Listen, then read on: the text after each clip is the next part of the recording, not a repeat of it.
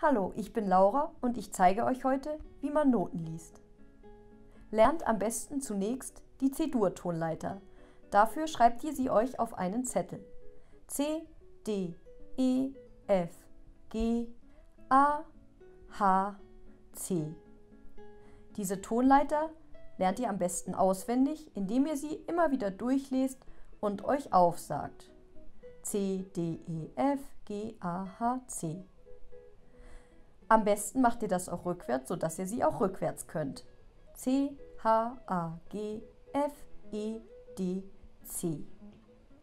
Das Notensystem besteht aus fünf Notenlinien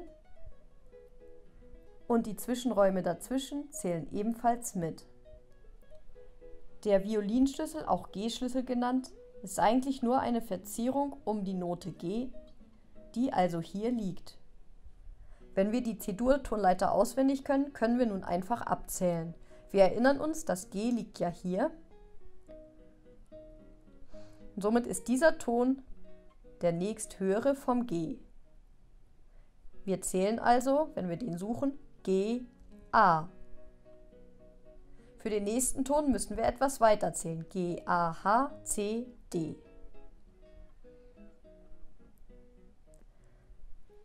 Dieser Ton liegt nun tiefer als das G, wir müssen also rückwärts zählen. G, F.